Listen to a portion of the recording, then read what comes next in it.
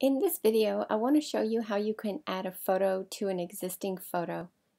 Or if you want to create a blank canvas and you want to add a bunch of photos to that. So I want to go ahead and create a photo, an 8 by 10, or rather a 10 by 8 landscape. So I need to set up my canvas first. So that's really the first thing you need to do is determine what size of final photo you want.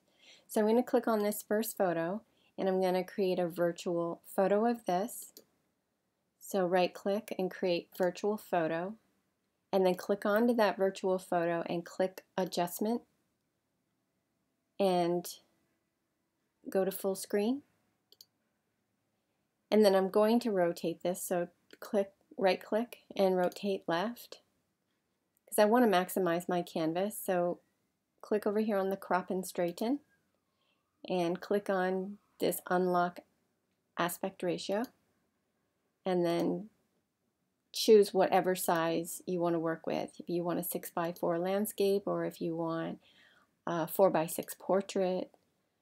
I want to work with a 10 by 8 landscape so I'm going to click done and it resized it and so now I'm going to go back to photo viewer and then click layers And now I want to remove this photo so that I have a blank canvas. And then I'll go ahead and I'll add the photo back in. And this is the original one. So this is the virtual photo. And I'm going to go back to full screen. And then click Command A to select the entire photo. And then come over here to the Select Area tool. Click that and then click Delete Selection and then clear the selection.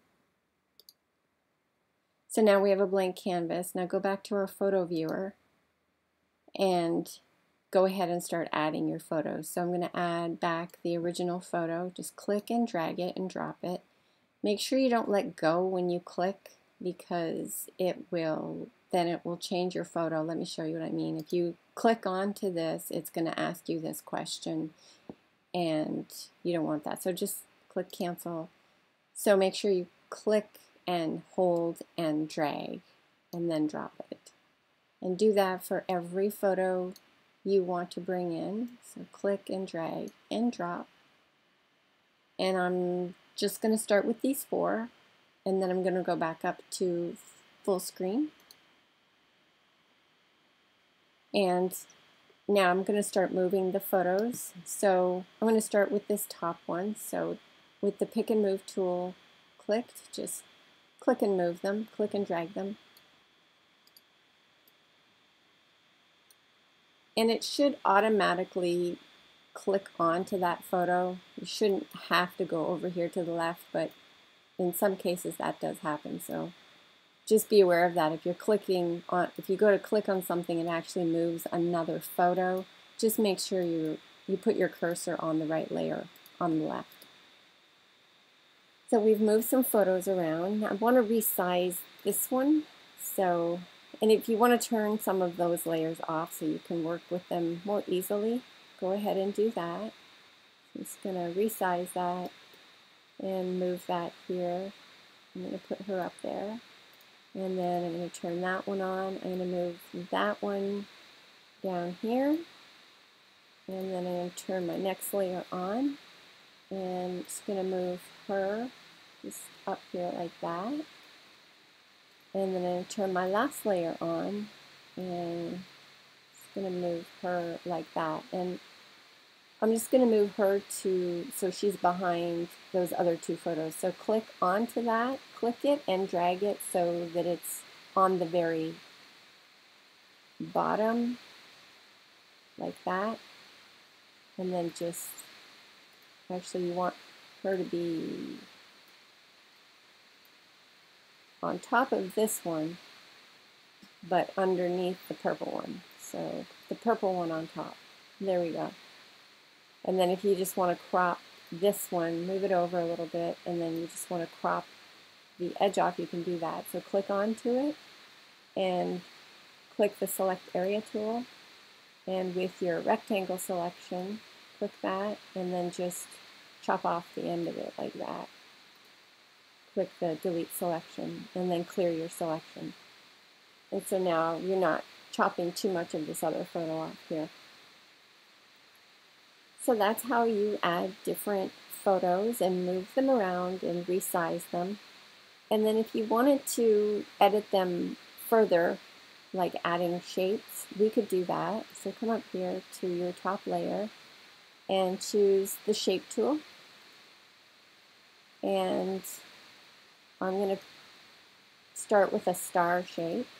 And I'm just going to pick five points, because there's five points to a star, and I'm going to choose indent of 30. It just defaulted to that. And then just click and drag on whatever photo you want to be in the star shape, and then just drag it. So I'm going to go like that. And now we need to convert this to an image. So right click on your shape and convert to image.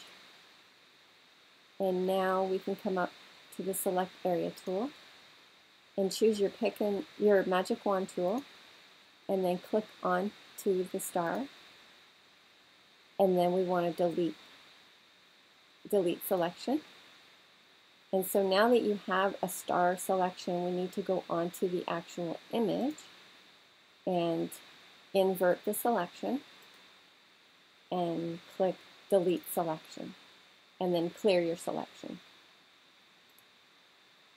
And then if you want to move it, just go back to your pick and move tool and then just move it around wherever you want it.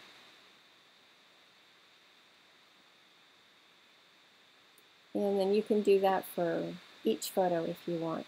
If you want to add a black background, we can fill this blank background in. So click onto it, come up to the fill tool, and it defaulted to black, so I'm just going to select that. You can change it if you want to whatever color. I'm just going to keep it on black and then just click on the canvas and it fills it in with black. And so that's how you add images and how you would cut an image into a shape. I hope you like this video.